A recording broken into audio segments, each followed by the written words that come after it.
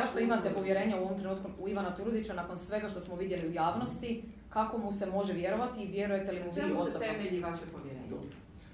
Ovako, što se tiče gospodina Dražena uh, Jelenića, on je dobio sve povjerenje. Puno povjerenja. Nas dva se nikad u životu nismo vidjeli prije našeg sastanka. Nikad nismo imali nikakav kontakt. Nikomu nije dao nikakav mig. Nemamo nikakvu poveznicu. Bilo što, što god bi moglo upućivati na naš nekakav dugogodišnji plan da on bude glavni državni odvjetnik. Čovjek je došao sa vrlo respektabilnom karijerom državnom odvjetništvu, u punoj formi i snazi, mi smo lila što se tiče godina, sa svim mogućim referencama koje su bile itekako potrebne da bude glavni državni odvjetnik i on imao našu podršku. Da bi se kasnije ispostavilo, ne rad nas, nego rad njegovih poteza, što meni i dalje, koliko sam ja uspio upoznati, mi je djelovalo malo čudno, ali tako se očito dogodilo, da on baš u vremenu kada se o njemu vodi razgovor i procedura da postane glavni državni odvjetnik, istodobno ulazi, kako je jučer rekao jedan vaš kolega, u članstvo jedne specifične nevladine udruge, gdje se priseže na neku drugu vrstu lojalnosti i tajnosti. To je problem. To nije bila moja odluka, niti moja odluka. To su jednostavno bile, on je dao sam ostavku voditi računa, bile posljedice njegovih odabira, ne našeg povjerenja. Vrlo je važno to podsjetiti, puno vremena je prošlo pa sada to ne znamo. E, Kada vi nekom ukazujete povjerenje, onda pokušavate sa svih aspekata ispitati na neki način opravdanost tog povjerenja i spremnost neke osobe da može nositi teret neke javne dužnosti. Gospodin Turudić ima 60 i čini mi se jednu ili dvije godine, ne znam sad točno koliko ima, nek se ne uvrijedi, nisam siguran, 61. ili 62. godište. Dakle, on dolazi na samom vrhu svoje profesionalne karijere u poziciju da bude čelnik jednog pravosudnog tijela. On je do sada bio sudac više sudova, on je do sada donosio odluke u izrazito relevantnim predmetima.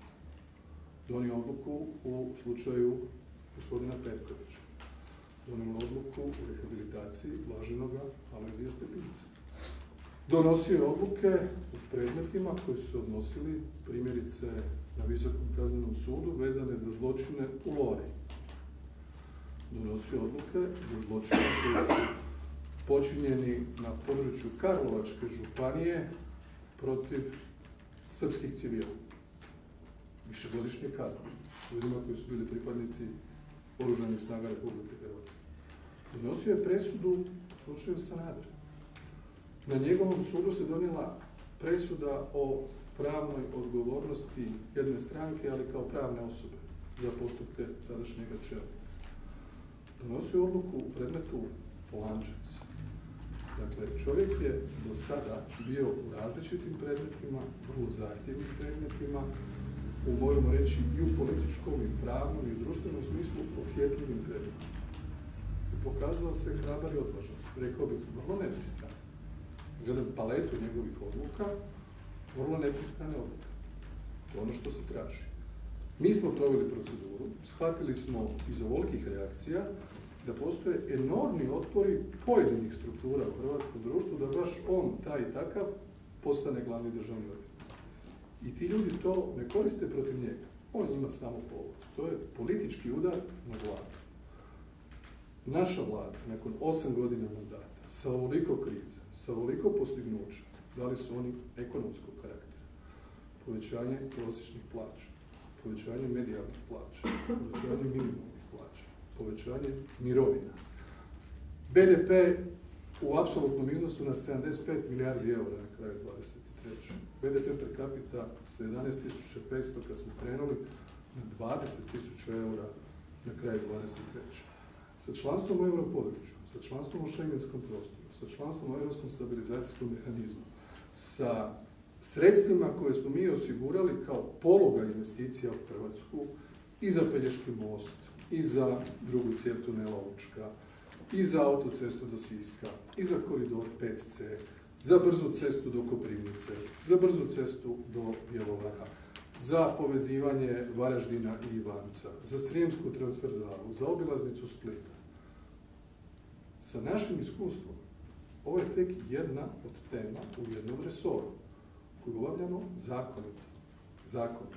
Ne koristimo neke podzemne varijante, da se prisjećamo nečeg što smo slučajno ex ofo znali 2015. pa se sad toga sjetimo, ili da puštamo privatnu korespondenciju hrabro i anonimno kao neka moćna struka koja pridonosi javnoj raspravi pa krši zakon. E to mi nismo. Mi smo oni koji se iskreno zalažu za boljitak i za europske standarde u Hrvatskoj. A taj boljitak je i razvojni, i gospodarski, i socijalni, i međunarodno pozicioniranje Hrvatske. Dakle, sve što smo mi ovdje napravili, smo odabrali jednog od četvero kandidata za kojeg smatramo da je zreo obavljati ovu dužnost. On je danas vrlo jasno kazao da se trenutkom odabira emancipira od onih koji će ga birati, to će biti parlamentarna većina, i da će svoj posao glavnog državnog odvjetnika raditi odgovorno i u skladu sa Ustavom i zakonom. To je za nas najbitnije. Eto, A nije, nije, nije bitno što će glavni državni odvjetnik postati osoba koja čini se nekome govorila ne moraš biti mirna, neće biti uhićenja. Sam Zašto to nije važno? Može.